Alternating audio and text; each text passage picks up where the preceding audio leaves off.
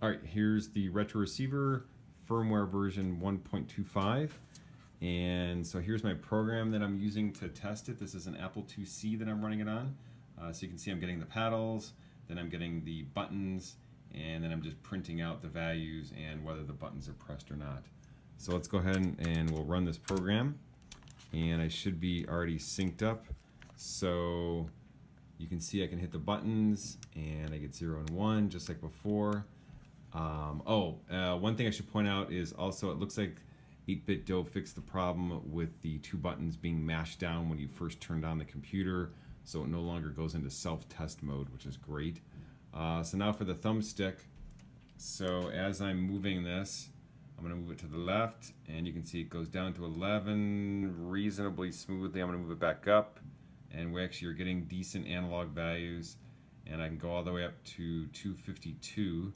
Uh, so it doesn't go all the way to zero on the left, and it doesn't go all the way to 255, uh, but it does look a lot more uh, smooth in between. So that's an improvement.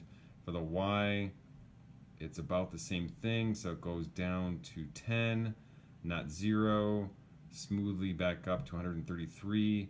Uh, really should be 128, and then all the way up to 252, not 255. Uh, as far as the D-pad goes, I can get that to go from 11 to 255 with 134 in the middle. And then for Y, it's 10 to 255 uh, with 133 in the middle.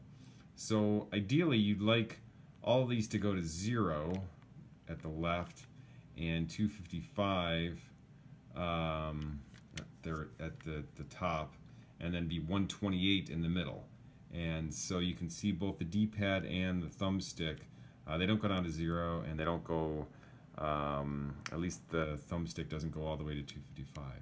So it's definitely an improvement. Uh, not great, uh, but kudos to 8BitDo for making it a little bit better. Maybe they can just make a few more tweaks and have it go all the way the full range 0 to 255. Alright, so now on an Apple II Plus, things are not quite as good. Uh, so this is using the 16 to 9 pin adapter with the retro receiver plugged in and the buttons still work. Uh, however, now the thumbstick is pegged at 255 when I'm not even touching it. Um, I can, and you can see it's kind of jumping all over the place too. Um, I can try and move the X and I get a few intermediate values, but it really just kind of jumps between 11 and 255 uh, and then moving it over I kind of get nothing.